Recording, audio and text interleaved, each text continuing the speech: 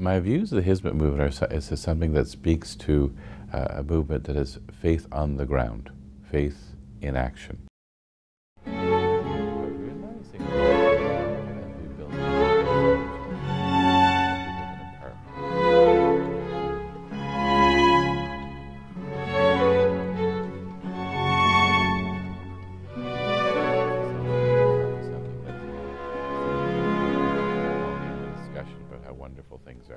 It's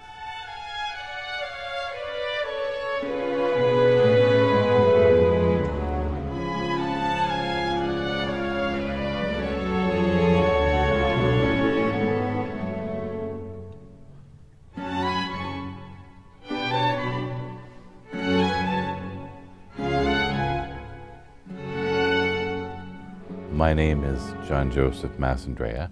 I'm a minister at Metropolitan United Church. I'm an ordained minister in the United Church of Canada, and I'm also a member of the executive of the Toronto Area Interfaith Council and reside in Cabbagetown. My views of the Hizmet movement are is something that speaks to uh, a movement that is faith on the ground, faith in action.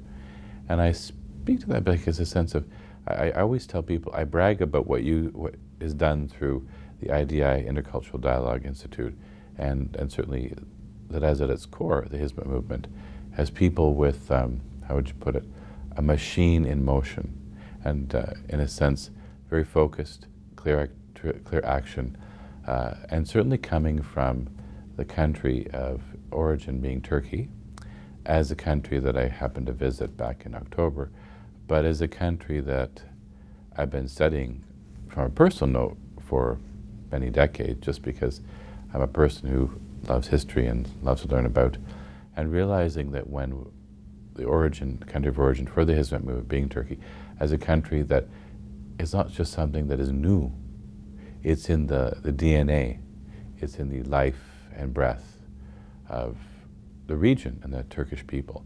In a sense, in the Middle Ages when Turkish people were welcoming people of Christian, Jewish, and Muslim not in a theoretical instance, but in a very tangible. And we often talk about the uh, Spanish Peninsula, the kingdom of the three faiths, but I would sense that in the uh, Anatolian plateau, that area of the world, that it wasn't just something that was an overnight. It was something that was an of course, something that became part of the normal day activity, and also in the philosophy of the people that lived and worked and resided. And, and it's more than tolerance. It's a sense of celebration. When I hear your, let your love be as wide as the ocean, I mean, how, how can one disagree with words like that?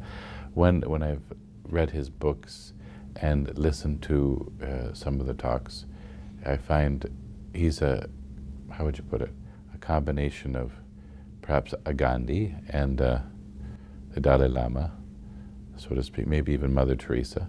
And he's not just speaking, he's living the ideas that he is uh, conveying to many people. And I would say in our modern day, when so many people talk about, how would you put it, people feeling far away from any faith tradition, uh, he is one of these people that is helping people point back to but not, how would you put it, a dogmatic faith tradition, just with creeds and dogmatic ideas, practical faith. And it's interesting, it makes, he makes me think of a book I've been reading, Anatheism, by Richard Kearney, which is uh, Returning to God After God. And it's out of a series I recently listened to called the, uh, it's After Atheism from the CBC Ideas program. Very, very good, very well, well thought of. But the idea, so so many people might say, well, I don't believe in anything, I'm, a, I'm an atheist. But the, even the notion of after atheism, okay, so now we've, we've, we've, we've played with that for a little while. Now we're, we're, what we're doing is we're having an anatheism, a returning to God after God, which is really powerful when you think about it. It's, it reminds us that uh, there's, a, there's a need and a hunger within all people. And I would say Fethullah Gulen speaks to that. And as a person who's a Christian, I see many pathways to God, and I would say Fethullah Gulen is bringing that sense of richness that people want to pay attention to and feel compelled to, uh, not so much, maybe follow is a, is, a, is a word certainly, but listen, pay attention to, and incorporate into their personal praxis. I would say the most significant contributions are, well, one, the office that is present in Toronto, that seems to be the hub of many corporate, realizing this is an international movement, but learning that there are also schools uh, helping to educate uh, children and youth, uh, the response to poverty, which is so vital. When you think of the growing gap between affluent and those who have nothing, uh, there needs to be people in his capacity that work with others to respond to poverty, but not just in a, a parental manner where I'm, in the sense, I'm going to give you food or shelter, but the idea, in essence, creating capacity, creating tools for people to build. One of the areas I'm very involved with is the, uh, the Rotary Club International. And the Rotary Club International is, uh, is, a, is a wonderful community organization that goes around the globe. But again, creating capacity. Uh, recently, we were giving funds to, uh, we shortlisted three projects. One was for water, one was for literacy, and another one was for a school in Cambodia. We thought, okay, we're going to give money to the trade school in Cambodia because uh, it makes more sense to be creating a school to educate people. And very much on a similar line, the work and ideology of Fethullah Gulen. Educate and you create capacity and tools for the next generation. I think of what the South Koreans are right now doing with their youth. They're teaching them how to use manual typewriters.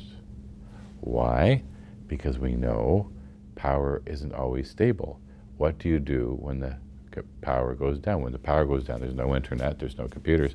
But if you teach an entire generation how to use manual typewriters, you'll have communication open. And this is very much when you think of what they're doing, what Fethullah Gulen is doing, there's a sense of going back to first principles of learning, helping people create their own sense of validity and dignity, wherever they might be, regardless of their station in life. Back, I've always been fascinated by other cultures, and I believe all cultures have their core value care, compassion, and humanity, authentic humanity for all people. Unfortunately, what we do with many of our cultures and traditions, we layer it with a lot of dogma that we sort of lose touch with it.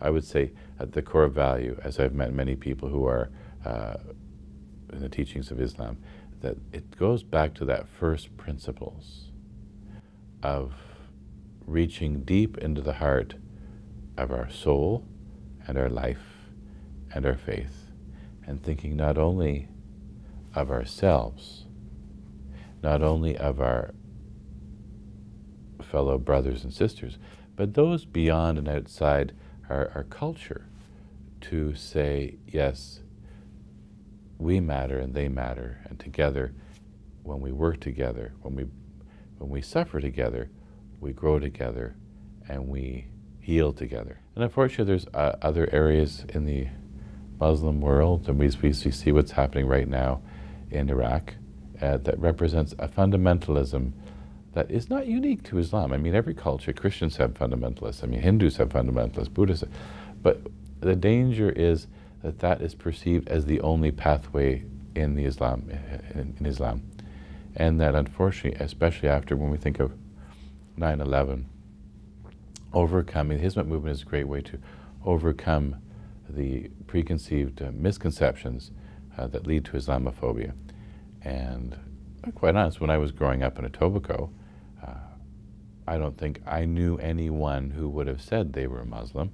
I remember my high school, we did have a woman who was Hindu, and I think another person was Buddhist, but there may have been, but I don't, I don't quite remember. But it's, it's been wonderful over the years how now you see not just in Toronto, but you see Muslim, but where we were in Cobourg, Cobourg, Cobourg, Ontario, there were Muslim people having picnics just amidst every, and I wouldn't have thought in Cobourg, because Cobourg is about two hours east of Toronto, but clearly what's happening is what, what we celebrate in Canada, in a sense, with the Hizmet movement is that sense of, and I, Abdul Kasmali uses plurality of society, pluralistic society, that is a celebration of all people where they are and where they're living and respect for. And I think that's something truly remarkable that speaks to perhaps the main premise and understanding of what the Hizmet movement is about and continues to be about.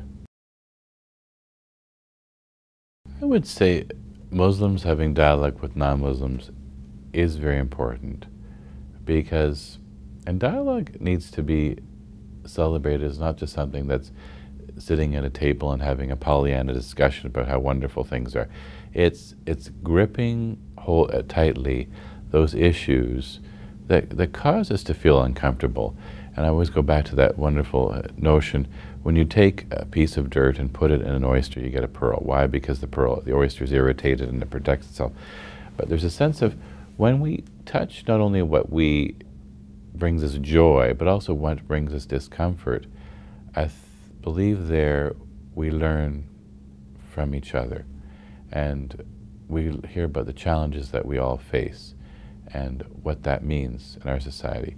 When, when people talk when Muslims talk with non-Muslims, you remove, we remove whatever barriers may be possibly present. Muslims speaking to non-Muslims is speaking to the issue of disarming fear and inviting compassion, inviting that listening moment, but realizing that as we build homes beside each other, as we live in apartments or condominiums, as we sit on boards and committees, we're making decisions that affect everyone and not just ourselves.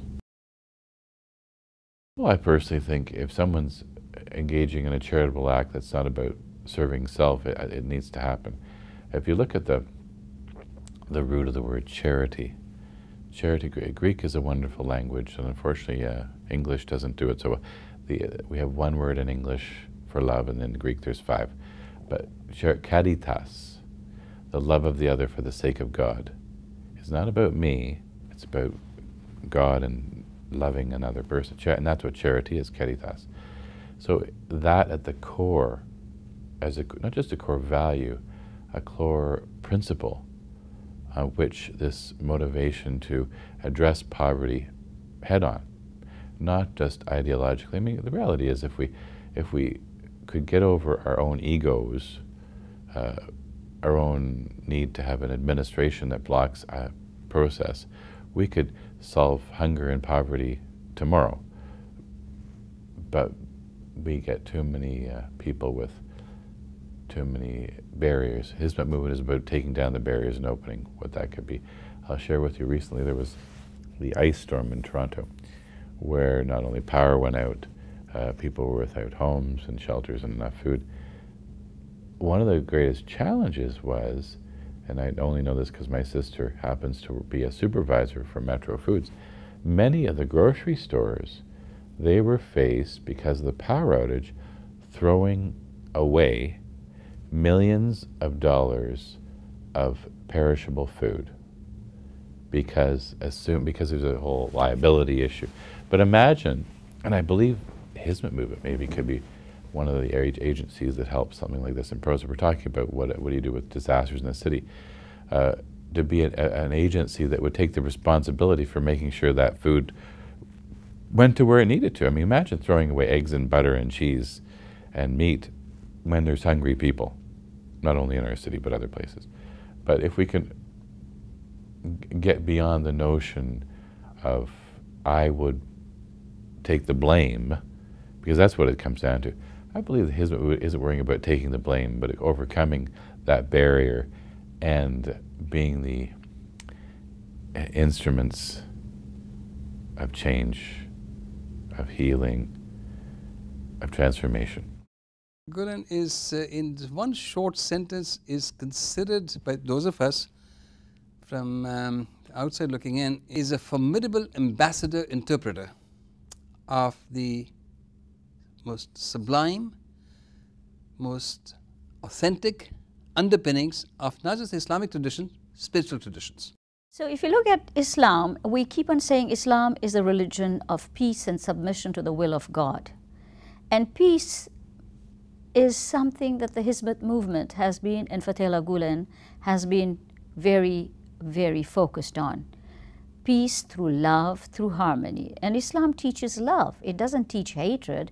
In fact, Islam says to kill one life is to kill humanity.